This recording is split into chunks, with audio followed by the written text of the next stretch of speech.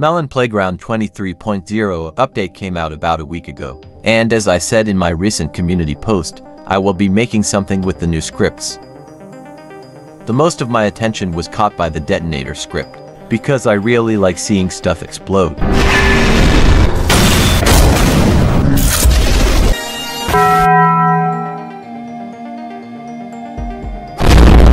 For today's video I made a massive pack of barrels.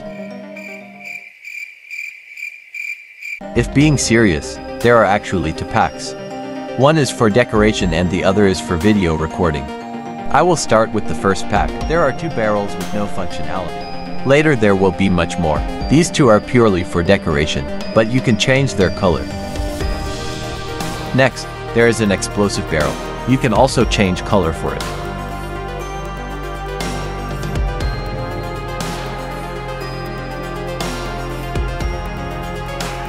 And it can explode. And there are two toxic barrels. They have the same effects, but only the yellow one can be recolored.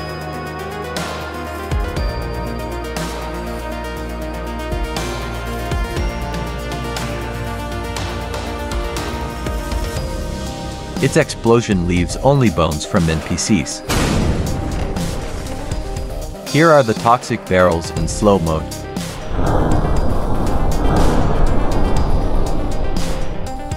Now, video recording barrels. There are actually 28 of them.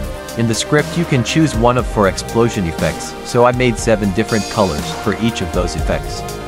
These barrels do no damage or knockback to NPCs, making them perfect for recording videos. There are three sizes of normal explosion. And also a flash explosion.